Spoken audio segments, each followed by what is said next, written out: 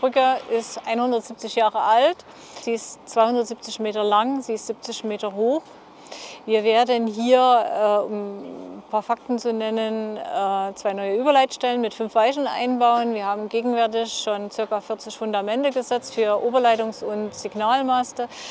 Die Gerüstbauarbeiten sind ca. 20.000 Quadratmeter.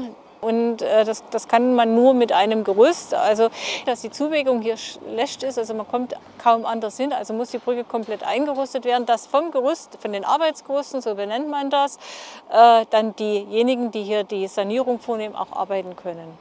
Die Brücke wird saniert, weil sie mit 170 Jahren in die Jahre gekommen ist und ähm, hier diverse Schäden an der Brücke zu verzeichnen sind, äh, Entwässerungsschäden, Risse etc. Wir bauen hier zwei neue Fahrbahnwannen ein, Bahn rechts und Bahn links. Herausfordernd ist natürlich die Lage. Ähm, die Zuwägung hier zu dieser Brücke ist kaum gegeben. Also wir können praktisch nur von der Seite Joggeta auch straßenseitig zuwägen. Wir sind hier im Naturschutzgebiet und das ist schon eine gewaltige Herausforderung.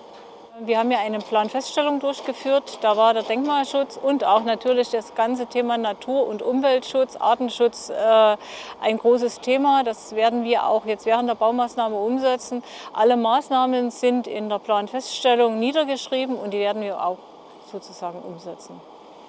Die zwei großen Bauphasen, wo die Fahrbahnwanne erneuert wird, gehen bis 31. August 2024. Restbaumaßnahmen planen wir bis Frühjahr 2025 noch ein.